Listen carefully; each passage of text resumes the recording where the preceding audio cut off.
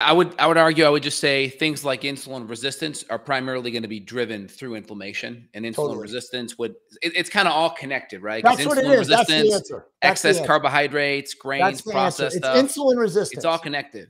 So so uh, you know what? I'm glad you said that because I screwed up and missed that. So all so high estrogen symptoms is insulin resistance. Right. That's 100% the answer. And again, most people miss this.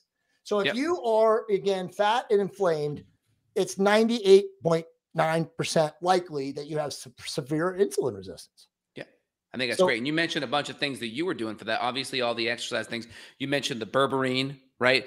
You, I think you mentioned metformin as well. I imagine yes. you're probably doing some B12 with that because I know there's yes, absolutely folate with that. Yeah, I take folate. a very, a very, very complex. Uh, I take uh, B right from Jarrow formulas. Yep.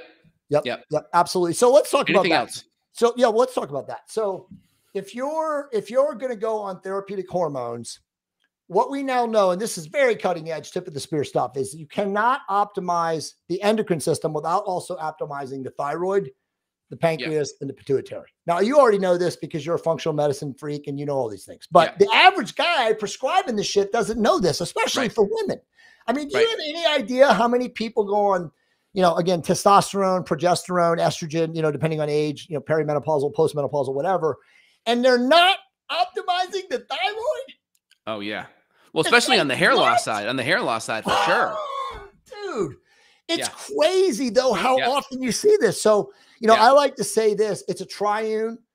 If you're going to go on hormonal mm-hmm. optimization and again for me, if you're 45 and you're in America with this and we haven't talked about this before, you know, we end the show, but I mean, look, man, at the end of the day, we are being bombarded, bro.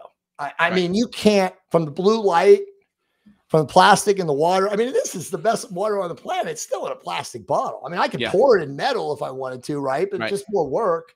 But I mean, we have to be so overly proactive in type A to, you know, intervene, if not avoid this horrific biochemical onslaught to us. So at the end of the day, if you're going to look to hormonal optimization, in my opinion, you have to at 40 to 45, again, depending on your level of leanness and your inflammation. Uh, I'm saying the way it's done right is again, depending on you're a woman or man, age, it's looking at um, free testosterone to see if you're eligible to start, you know, obviously the therapeutic route. It's supplementing with uh, desiccated slash porcine thyroid, again, relative to your, yep. you know, to, relative to your uh, metabolic issues and insulin resistance. And then, of course, you have to control for insulin. And you know, again, I, I, I obviously I'm the biggest metformin homer in the world. I've written an article that's you know cited on the uh, Harvard Education Review. You know, it's ten thousand words on metformin, but I am a big uh, metformin advocate because of all the things it doesn't do outside of the great stuff it does for insulin suppression. Right? It's it can stop tumor formation. It increases akkermansia. I mean, it does so many amazing things.